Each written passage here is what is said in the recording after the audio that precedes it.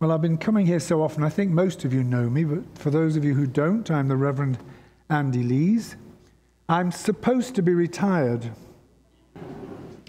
But in 2019, the bishop asked me if I'd go for four months to Christchurch, Fort Macleod to help them out. And I am still going down to Fort Macleod to help them out. 300 kilometer round trip every time. I do supply like this, and I volunteer at the Foothills hospice in Okotoks. So if you want advice on a quiet retirement, I'm not your man.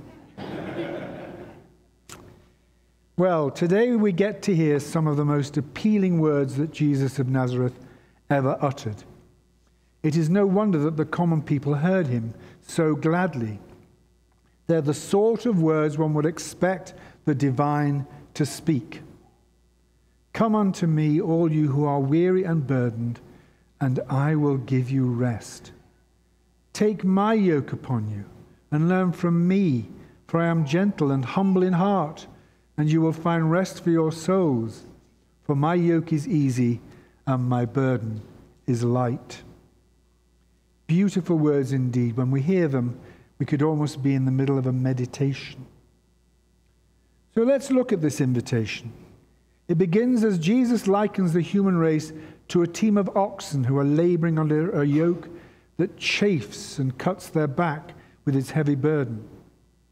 It's not a very complimentary picture, but I think we would agree it's an accurate one, especially in these troubled times.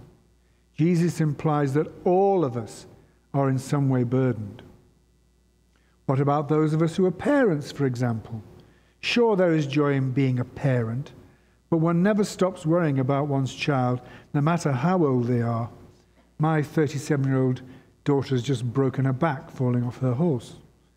I personally believe the saying is true that as a parent, you are only as happy as your least happy child. Just think about that. You are only as happy as your least happy child. There's burden enough for a start, and that's before you start working out your taxes. It is such burdened people that Jesus invites to come to him. He promises to ease the yoke of worry or loneliness, of illness or despair, of disappointment or grief, any burden. And he promises to ease our yoke. Not always totally remove it, but ease our yoke, to lift our burden, to give us rest, and to set him free, set us free. Listen to these words we know so well. Behold, the Lamb of God who takes away the sin of the world. And we know that's true because we know he came to us, took our humanity to himself when he was born, and took our sin and guilt to himself when he died. The idea is probably nowhere better expressed than in John Bunyan's famous allegory, The Pilgrim's Progress.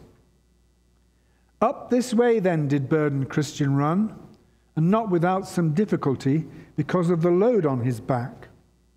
He ran thus until he came to a place somewhat ascending, and upon that place stood a cross, and below a sepulchre. A sepulchre is a sp- specific type of tomb that is carved into the rock. Upon that place stood a cross, and below a sepulchre. So I saw in my dream this Christian come up to the cross. His burden loosed off his shoulders and fell from his back and began to tumble. It continued to do so until it reached the sepulchre, where it fell in, and I saw it no more. Then was Christian glad and lightsome, and said with a merry heart, He has given me rest by his sorrow, and given me life by his death. Such wonderful words to eloquently describe what Jesus has done for all of us. Now, it's possible to believe that our burden is little compared to others, so we think it isn't relevant to us. That sort of attitude, laced in dainty humility, compromises Christ's sacrifice. He comes to free each one of us from all burdens, no matter how light we think they are compared to others. And our task is not to compare and contrast our burden and our experiences with others. Our task is to embrace this new freedom. Then, The first thing we do with this newfound freedom is to go and tell someone. Exercise this new freedom by using it to spread the good news that Jesus can set anyone free. This freedom is our witness to the world, and announcing it cements that freedom in our own hearts. It's called joy. Joy that nothing can remove because we can cope with the new yoke by always resting in Jesus. Indeed, notice how balanced this offer is.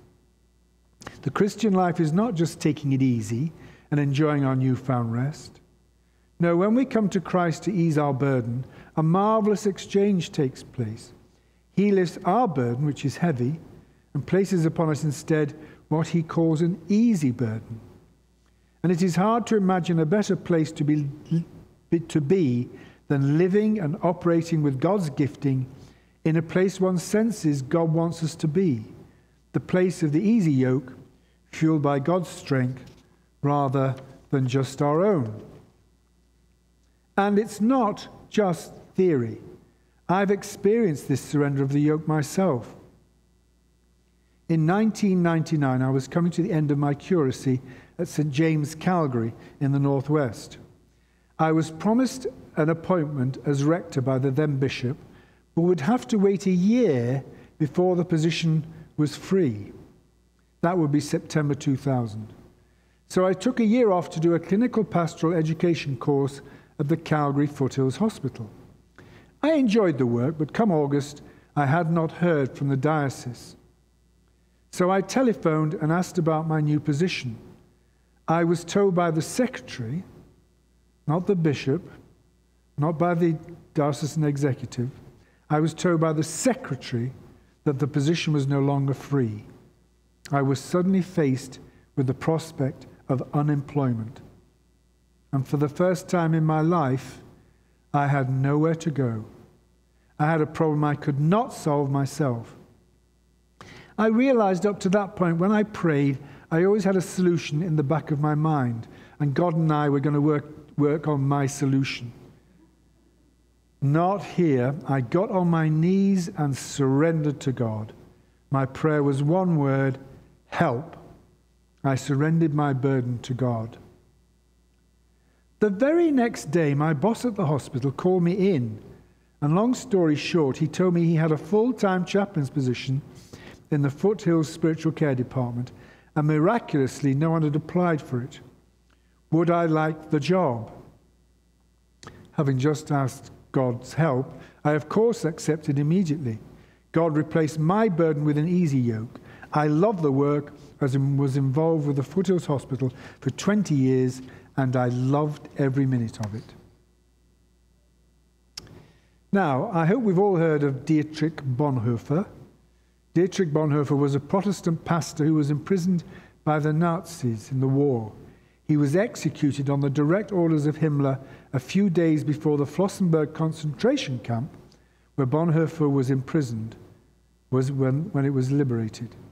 In his famous book, The Cost of Discipleship, he wrote this Only the person who follows the command of Jesus without reserve and submits unresistingly to his yoke finds the burden easy. The command of Jesus is hard, unutterably hard for those who try to resist it or compromise it. But for those who willingly submit, the yoke is easy and the burden is light. Well, I can attest to that from my experience. But wait a minute, how do we do this? Well, it doesn't have to be spectacular. It's not as difficult as we think. For example, at present, because of the aftermath of COVID, many people report they are experiencing heavy burden of loneliness. People don't visit like they used to. People don't phone anymore. It's difficult to get through each long day.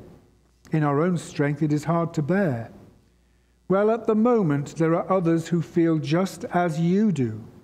So why not give this burden to Jesus and ask Him to replace it? Ask Him to lay on your heart through the Holy Spirit someone who you should phone. And the next person who comes into your mind, it may be immediately or later in the day, phone them And be honest about why you're phoning.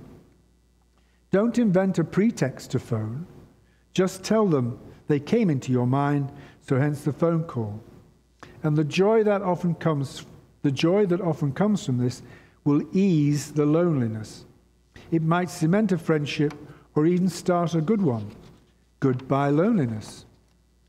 In all this difficult time, I've had only one person phone me this way. It was a fellow priest.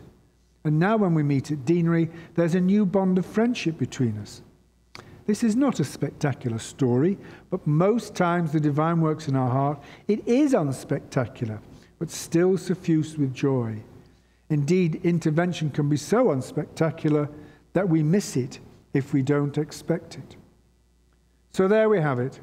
Multitudes of people today are seeking rest and longing for peace, freedom, and love, and it can be found.